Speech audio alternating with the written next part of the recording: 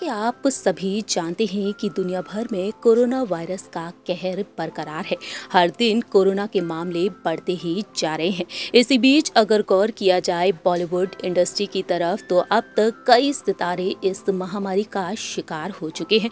हाल ही में फैंस के लिए एक और बड़ी खबर सामने आई है, और ये खबर जुड़ी हुई है बॉलीवुड की किंग खान शाहरुख खान से। शाहरुख खान के फैंस के लिए एक बेहद बड़ी खबर आ रही है। दरअसल जानकारी के लिए आप सभी को बता दें कि जहाँ एक और बीते दिनों से शाहरुख खान अपनी अपकमिंग फ़िल्म पठान की शूटिंग में व्यस्त हैं तो वहीं अब पठान के सेट पर भी कोरोना वायरस महामारी ने हमला बोल दिया है।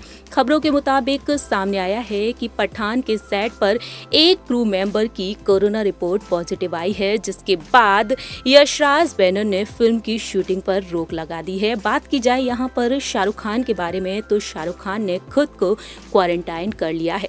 हालाँकि अभी तक साफ़ तौर पर सामने नहीं आया है कि शाहरुख खान ने कोरोना टेस्ट कराया है या फिर नहीं लेकिन देखा जाए तो यशराज बैनर की तरफ़ से अभी भी इस पर कोई सफ़ाई जारी नहीं की गई है।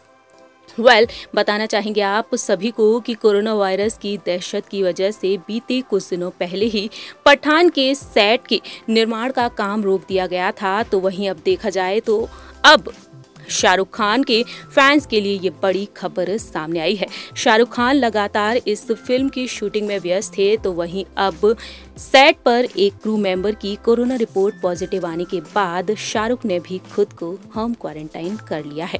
हमारी इस रिपोर्ट में इतना ही, तब तक के लिए आप देखते रहिए नेक्स्ट नाइन न्यूज़